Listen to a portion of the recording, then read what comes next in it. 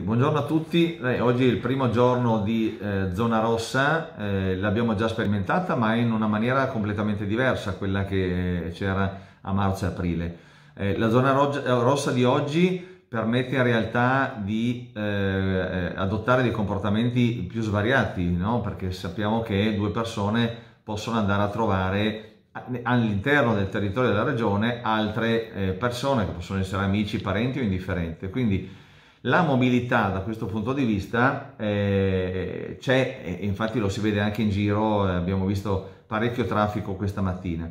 Ciò non toglie che il senso di responsabilità deve comunque portarci eh, a eh, comportarci in un certo modo, cioè quindi cercare sempre di evitare tutte quelle eh, occasioni di possibile contagio.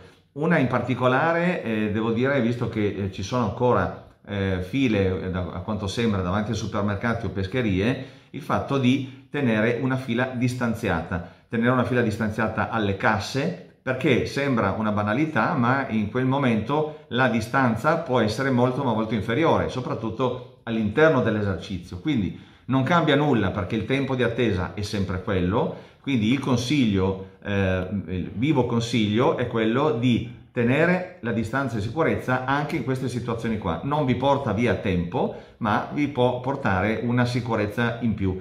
E fatelo presente anche alle altre persone in modo garbato, in modo educato e insomma si spera che questo non eh, faccia scaturire la, la, ipersensibilità da parte di altri, però ritengo che sia una questione, una misura eh, di sicurezza in più che non comporta nessun sacrificio per voi e per gli altri. Grazie e buon Natale a tutti.